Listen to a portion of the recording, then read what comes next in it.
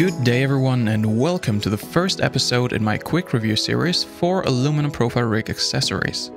Today we're taking a closer look at the GT Omega Prime mouse plate. Quick disclaimer up front, I received this product from GT Omega free of charge but received no other compensation for this video and of course all thoughts and opinions are my own. The purpose of this mouse plate should be fairly clear from looking at it and the product is basically as simple as can be. It's a black aluminum plate with two holes in it. It is 24 centimeters wide, 20 centimeters long, 5 millimeters thick, and the finish is a smooth matte black.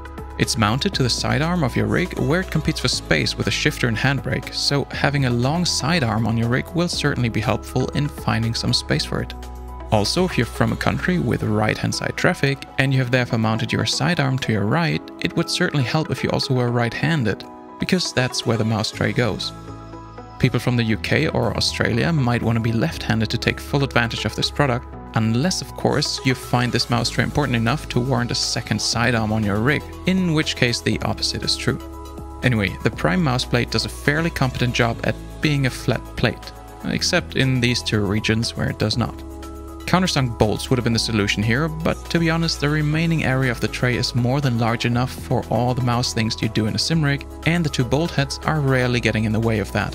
The plate doesn't transform your rig into the ultimate environment for shooters, but as long as your shifter doesn't get in the way, it'll certainly make it more comfortable to click through the menus in games. It should also be said that at 5mm this is a very solid piece of hardware and should be very durable. By the way, similar mouse trays to the Prime mouse plate are available from SimLab, ProSimRig, Advanced Sim Racing and probably a few more brands. Interestingly, at 5mm thickness, the GT Omega is the thickest and presumably sturdiest of the bunch, with the SimLab and PSR trays coming in at 3 and 4mm respectively. At around 40 credits, it's also the most expensive one on the list, but comes with free shipping.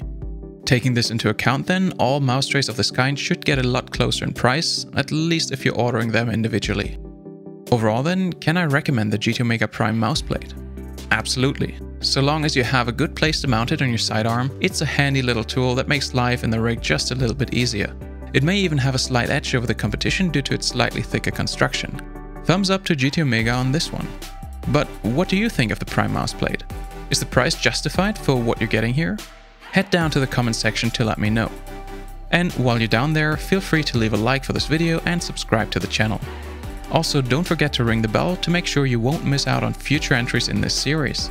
If you want to further support this channel and you're looking for some new sim racing hardware such as the Prime mouse plate, please consider buying via the affiliate links in the description below. With all of that said, I hope you're having a great day, be safe, and I'll see you in the next one.